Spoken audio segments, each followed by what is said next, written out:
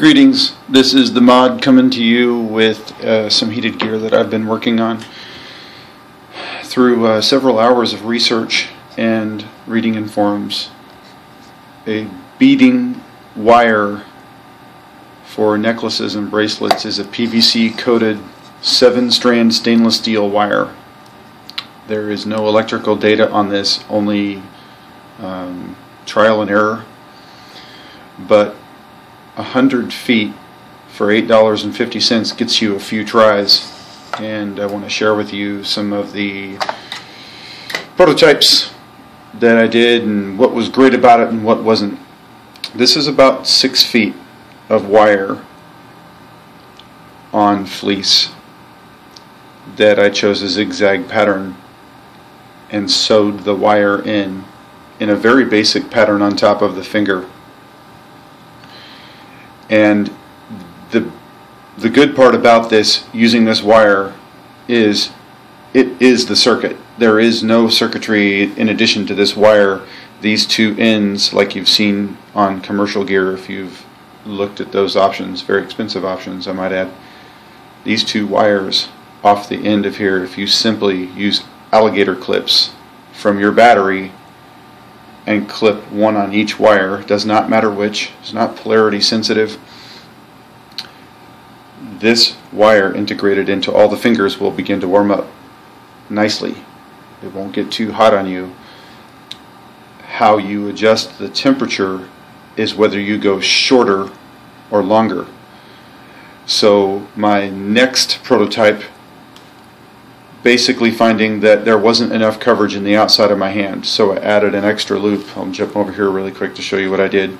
I started at the back of the hand, came down the end of the fifth finger, came back, looped around, and went back up, and I found that to be a nice, more nice uh, distribution of heat on the outside of my finger. Plus, it's the smallest one and exposed to the outside wind, so the extra protection was welcome. That was about eight and a half feet.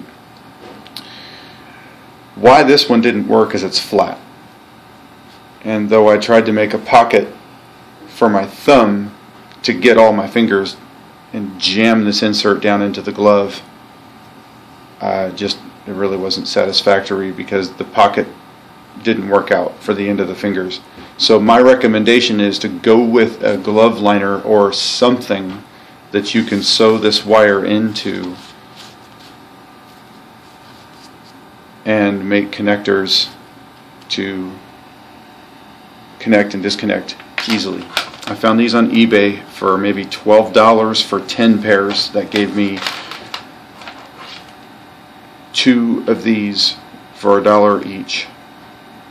I'd recommend getting a little bit higher quality one though because the pin down the inside of this one when I connected them, I twisted it, just kind of messing around, and the way this one goes inside of it caught the slit that's in the tip of this and it snapped it off. So you don't have to deal with that if you get get a higher quality connector. Um, probably the coolest thing about this is, even though it's inexpensive,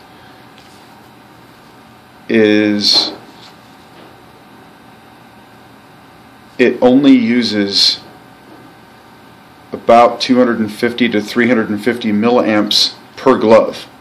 So for UST 1100 owners like I am, it's not a huge draw for the comfort on your 28 amp alternator. In the future, like this was patterned, I intend on putting my foot. You can get this material for about a dollar a yard sometimes at the fabric store. It's just fleece. I intend on putting my foot down on it and tracing a pattern of fleece and sewing in a pattern under the ball of my foot and making uh, heated liners, heated, heated soles. So check this out it's 26 gauge Beadalon, uh, wherever my spool went. 26 gauge Beadalon, you get 100 feet for eight and a half dollars, and start with about seven or eight feet of it. Why I say that is if you go shorter, it's less resistance in the wire for 12 volts, or when your engine's running about 14 to 15 volts to travel down, and the shorter it is, the hotter it gets. So if you start with seven or eight feet of it, you'll be, be able to feel the warmth coming through it. Don't wrap it around your hand tightly because it'll fool you in it being well it'll be really hot but because it's spread out it's a nice even distribution of heat instead of it being all focused in in one area